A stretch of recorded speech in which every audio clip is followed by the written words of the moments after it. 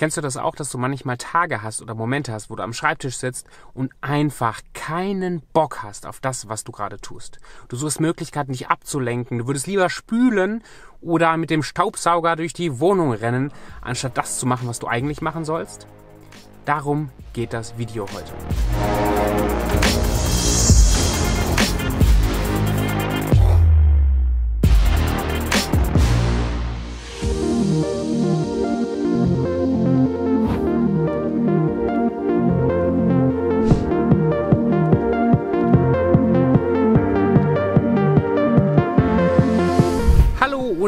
Wundervollen guten Tag. Ich bin Tobi Krick und eine der Sachen, die ich momentan mache, ist, dass ich andere äh, selbstständige und veränderungsbereite Menschen coache und ihnen weiterhelfe, sich persönlich weiterzuentwickeln und im Business weiterzuentwickeln. Und eine, ein, ein Engpass, ein Problem, was ich immer, fest, immer wieder feststelle, was ganz viele haben und äh, was ich auch immer wieder habe, ist, dass als Selbstständiger ich zu Hause in meinem Homeoffice am Schreibtisch sitze, vielleicht ist da auch ein eigenes Büro oder so, ähm, und dass es viele Aufgaben zu tun gibt, die wir tun müssen vielleicht, obwohl wir gar nicht so wahnsinnig viel Bock dazu haben.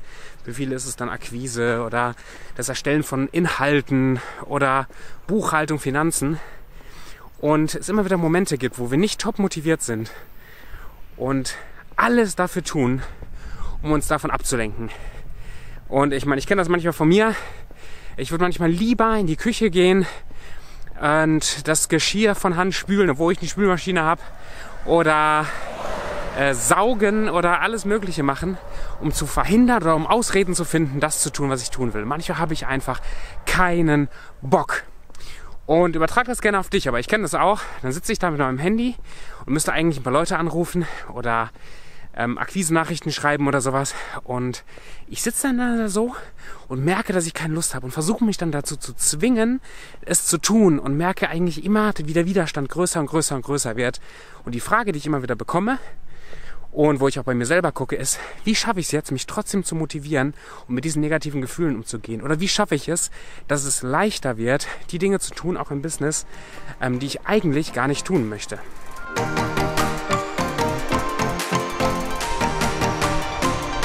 Ich möchte jetzt ein Stückchen dabei helfen, zu verstehen, warum das so ist, warum du manchmal keinen Bock drauf hast und was du tun kannst, um mit diesem Problem oder mit dieser Herausforderung umzugehen. Dein Verhalten und deine Gefühle im Business äh, haben Gründe. Das kommt irgendwo her. Und meiner Meinung nach, das Schlimmste, was du jetzt tun kannst, wenn du dich so fühlst, ist es, mit Gewalt dagegen anzukämpfen. Wenn du also am Schreibtisch sitzt und du merkst, du hast keinen Bock und du suchst nach Ablenkung und du fängst jetzt die ganze Zeit an, dich dazu zu zwingen und durchzuboxen und weiterzumachen, dann wird das, was du bekämpfst, diese, dieses Unmotiviertsein, dieses Gefühl von keinem Bock, wird immer stärker. Und das kostet dich so viel Energie und so viel Kraft, dass du irgendwann komplett aufgibst und vielleicht gar keinen Bock mehr hast und erstmal äh, zwei Tage Auszeit brauchst. Stell dir das so vor wie bei einem Auto, vielleicht, vielleicht hast du das ja auch schon erlebt. Es, es, es, regnet, du fährst irgendwo durch einen Wald oder durch eine, durch eine Gegend, wo du eben nicht so schöne befestigte Straßen hast, sondern alles ist mehr so ein bisschen Matsch und Schotter. Und äh, du fährst durch so eine Pfütze und das Auto fährt sich fest. Du hast vielleicht geparkt, willst wieder losfahren, das Auto hat sich festgefahren. So, wenn du jetzt so handelst, wie du vielleicht bis jetzt gehandelt hast, dann gibst du richtig Vollgas, du versuchst richtig äh, jetzt hier Gas zu geben und Gang rein und äh, Knallgas und du merkst, wie nach und nach das Rad sich eigentlich immer tiefer in den Schlamm rein frisst, anstatt dass du dich äh, da rausfährst. Das heißt, du fährst dich immer tiefer in die Scheiße, anstatt die Ursache für das Problem zu beheben. Was du jetzt im Fall von einem Auto lieber machen könntest, Auto, was du jetzt in dem Fall von einem Auto machen solltest, ist, du solltest aussteigen, solltest dir die Situation angucken mit dem, mit dem Reifen und vielleicht nimmst du da ein bisschen Holz oder irgendwelche Hilfsmittel, die du hast, äh, legst die unter die Reifen und gehst damit mit ein bisschen Intelligenz ran und schaffst es so, das äh, Problem oder die Ursache für den Stillstand mit dem Auto zu beheben. Ansonsten fährst du dich vielleicht so fest, dass du gar nicht mehr da rauskommst. So oder so ähnlich ist es aber auch im Business. Du hast dich in eine Situation gebracht, wo deine Gefühle, dein, dein Körper, irgendwas in dir sich wehren will vor der Aufgabe, die du gerade machst. Zum Beispiel Akquise oder Buchhaltung. Und du würdest gerade alles andere lieber machen als das. So, und anstatt dass du jetzt aussteigst und dir das Problem genau anguckst und es behebst, versuchst du dagegen zu halten und Gas zu geben und irgendwie dieses Gefühl so zu unterdrücken, in dem Glauben, dass du dann trotzdem produktiv das mal irgendwie geschafft bekommst. Und das ist ein Irrglaube. Du solltest viel lieber aussteigen, dir das Problem angucken, beheben und dann wieder mit neuer Motivation und mit Kraft weitermachen. Das heißt, das nächste Mal, wenn du keinen Bock hast, das nächste Mal, wenn du merkst, dass du dich gegen das wehrst, was du gerade tust, ähm, geh mit dem Flow. Also wenn sich was in dir wehrt, das zu tun, dann tu es mal nicht und nimm mal einen Schritt zurück. Und anstatt jetzt einfach irgendwie zu Netflixen und einfach irgendwas zu machen, um dich abzulenken, nimm dir das Tagebuch und schreib mal raus, warum du dich gerade so fühlst. Versuch diesem Problem auf den Grund zu gehen. Manchmal reicht es auch einfach schon mal festzustellen und aufzuschreiben, dass du dich so fühlst und dass du keinen Bock hast auf die Aufgabe und dass sich gerade alles versucht in dir zu wehren. Und du merkst, wenn du diesen, diesen Druck rauslässt, allein schon durch das Schreiben und wie so ein Detektiv so nach und nach auf die Suche gehst, was da eigentlich hintersteckt, wird dieses Gefühl, diese Power, diese Kraft, diese Zugkraft, die dich davon abhält, das zu tun, nach und nach verlieren. Und dir fällt es danach leichter, wieder etwas, mit etwas mehr Ruhe und Gelassenheit an diese Aufgaben zu gehen. Gewöhne dir das als generelles Prinzip an. Wenn du Druck erlebst von potenziellen Kunden, von Business, von deiner eigenen Art und Weise, wie du denkst, versuch nicht dagegen anzukämpfen, versuch nicht mit Gegendruck zu arbeiten, sondern akzeptiere das und sei wie so ein, wie so ein Judo-Kämpfer, der quasi die Kraft des, des Schlages, der kommt, absorbiert und mit zurückgeht und dann zurückschlägt. Weil Druck erzeugt Gegendruck. Und wenn du gegen deine Gefühle arbeitest, werden diese Gefühle stärker. Ein anderes Bild, was mir stark geholfen hat, ist das Bild von einem, von einem Kind, was Aufmerksamkeit will.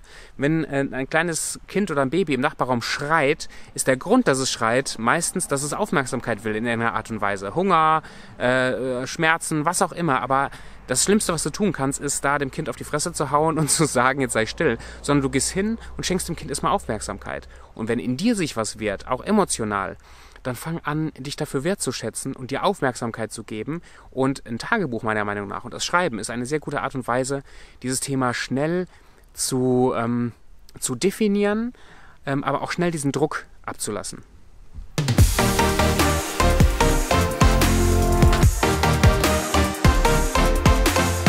Ich habe ja gerade schon gesagt, ähm, die Verhaltensweise, dieses keinen Bock zu haben oder dieses etwas nicht tun zu wollen, hat ja Gründe.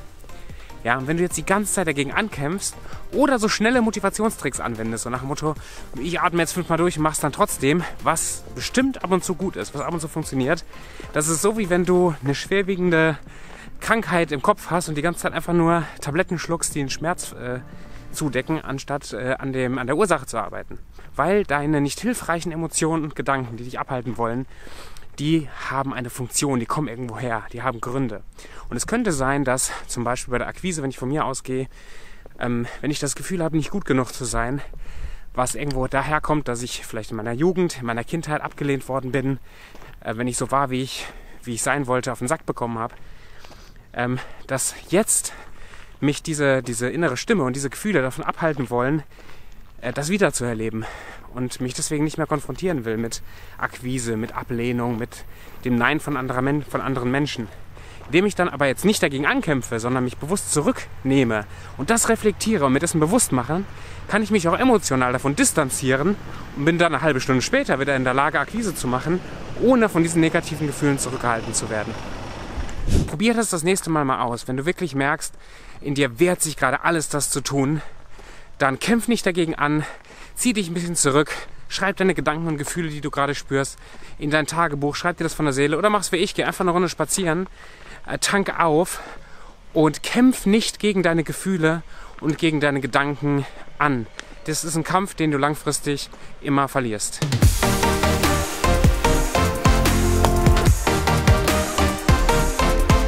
Um diesen Prozess noch ein bisschen zu erleichtern, hast du natürlich auch die Chance, mit so ein paar einfacheren Tricks zu arbeiten, wie Atemübungen zu machen, äh, dir die geilste Musik, die du dir vorstellen kannst, auf die Ohren zu knallen, durch die Wohnung zu danken und alles zu tun, um diesen emotionalen State, dieses gefühlte, so geht's mir gerade, wieder auf ein Level zu bringen, dass du, dass du ready bist, dass du bereit bist, wieder zu performen.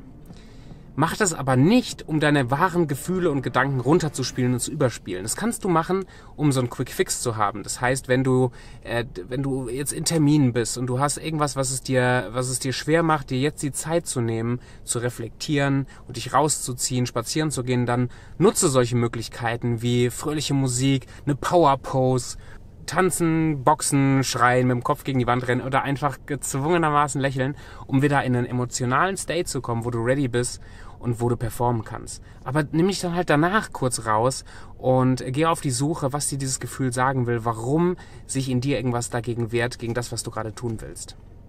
Einfache Merkregel, was wir bekämpfen, wird stärker. Also hör auf, dich für deine Gefühle und Gedanken fertig zu machen, sondern nimm dich zurück, reflektiere, geh dem auf den Grund und dann mit neuer, frischer Energie hau wieder so richtig rein. Wenn du Fragen dazu hast, schreib gerne unten in die Kommentare. Ich äh, will auf alles, was da abgeht, äh, Bezug drauf nehmen. Wenn du ein persönliches Gespräch haben willst, ich biete für alle, die wirklich interessiert sind, zu wachsen und sich zu, zu verändern, sowohl beruflich als auch persönlich, ein kostenloses Coaching für eine halbe Stunde an. Klick gerne in den, in den, äh, auf den Link hier unten in der Beschreibung. Ich freue mich, dich persönlich kennenzulernen und wünsche dir jetzt einen grandiosen, produktiven und äh, schönen, erfolgreichen Rest des Tages. Mach's gut.